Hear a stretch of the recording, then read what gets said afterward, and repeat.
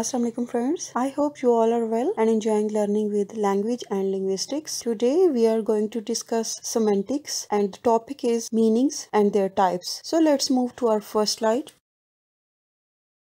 Geoffrey Leech has broken down meanings into seven types conceptual or denotative meaning, connotative meaning, social meaning, affective or emotive meaning, reflected meaning, collocative meaning, and thematic meaning.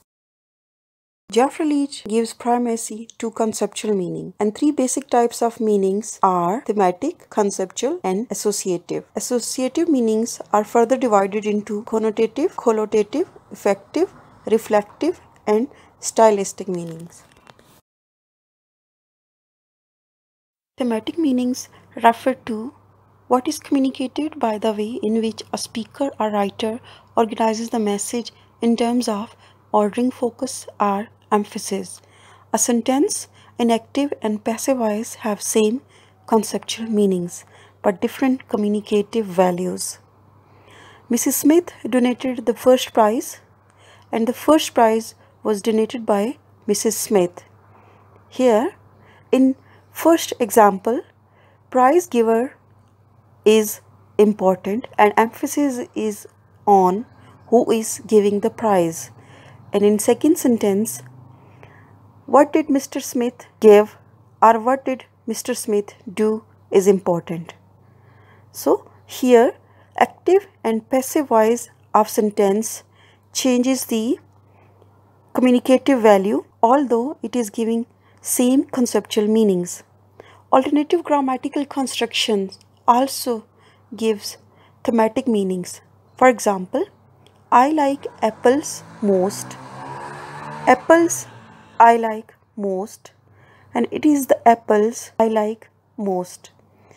Here in first example emphasis is on liking and in second example emphasis is on apples and in the third one we can find that emphasis is again on apples and liking both of them are important and this is the communicative value of the sentence although conceptual meanings are the same of all three sentences.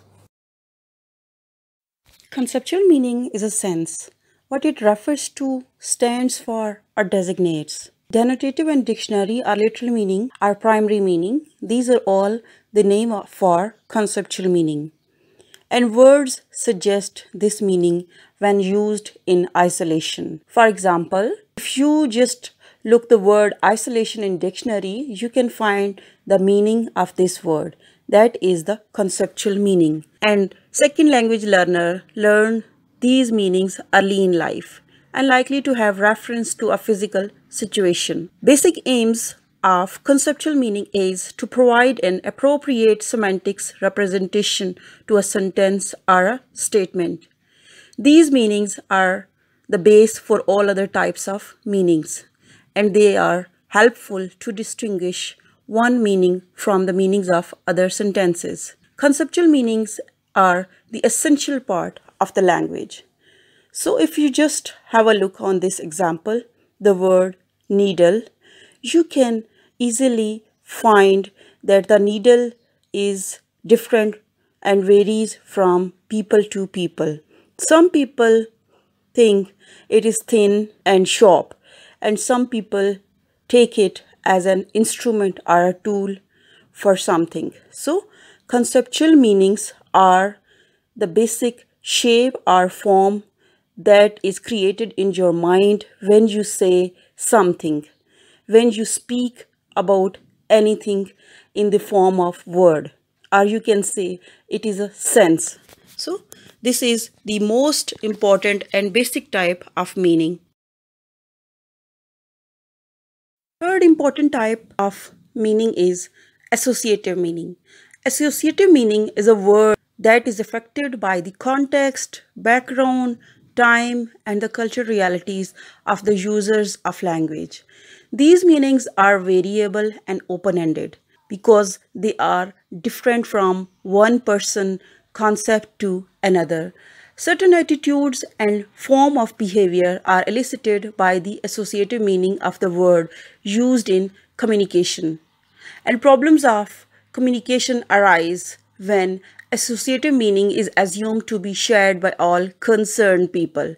When you think that these meanings are same from one person to another, it creates problem for the language users and language learners because everyone has different association with one word in one culture and from different from one culture to another for second language learners, decoding the meaning of idioms and figurative expression is difficult because of social and cultural differences. They also find it difficult to apply appropriate idioms to diverse situations. So, associative meanings are different from one culture to another and they are also variable from one person to another because everybody has different attitude towards different meanings according to the social and cultural realities of that person. I would like to summarize some important points of this lecture before ending it.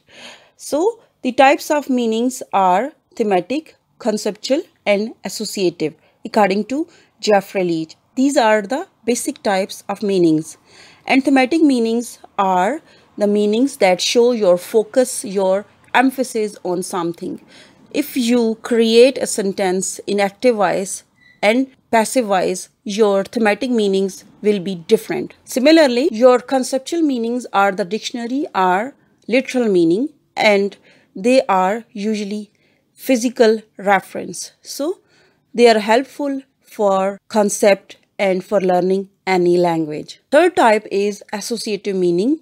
They are the word association or attribution and they vary from culture to culture, from one background and to another. So you can say these meanings are the speaker's meaning or how the speaker see anything or perceive anything according to his or her social and cultural realities.